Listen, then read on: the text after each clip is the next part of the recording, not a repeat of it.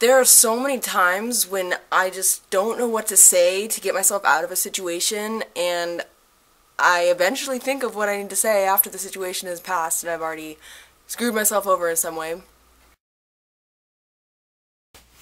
Bada boom. This first term is very useful for people who just keep asking you for things and you just want to say no. I'm sorry, I'm not going to help you with this because you've done this how many times? I'm just enabling you to keep doing it by helping you. I don't know. Respect. This word is useful for if you're in a situation to where you don't like the way someone's treating you. When you do this, I feel like you're disrespecting me. This one's probably my favorite. You're being manipulative.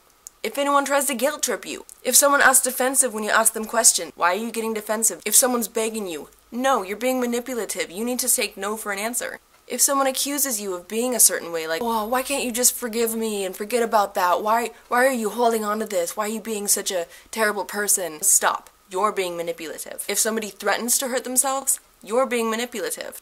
So then when stuff gets serious, you can definitely call the cops if your stuff is being broken and when it comes down to you feeling in danger. It helps to practice assertive techniques and then practice it because you're going to be put on the spot and you just want to be able to say it. When you act that way, it makes me feel like you don't respect me. This one's great. How to let somebody down when you're not interested. This is what you say.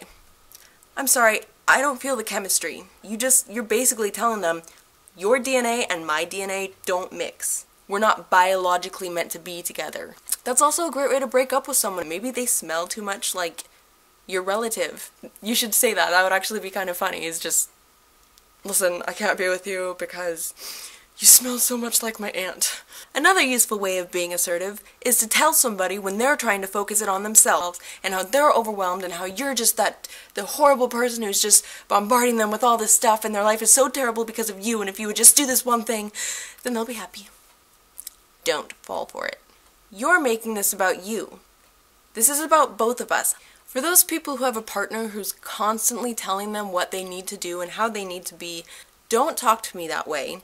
If you're going to talk to me that way, say it in a respectful manner. Being a pushover is not really that attractive, but if you're assertive, people like that. For some reason, they like someone who can take control of a situation.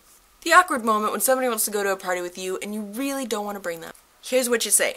I'm sorry, I'm already very stressed about the situation, and I feel like having somebody come with me will make me more stressed out about it what to say to somebody when they want you to go somewhere.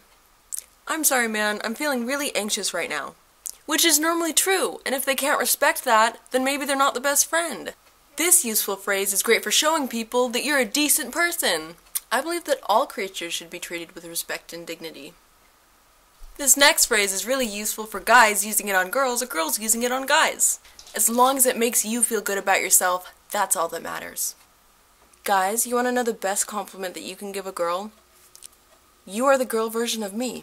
It's like a gift basket of compliments. You're saying that if you were a girl, you wouldn't do anything different than what she does. You respect her, and that you consider her an equal. Girls need to hear that in today's society. And hopefully they're telling you the same thing. Guys, just because people make such a big deal about how you should treat girls right, you need to be treated right too. For those situations when somebody's hassling you and their job is to get you to buy something before you walk away, what is that one thing that you can say that will get them to stop?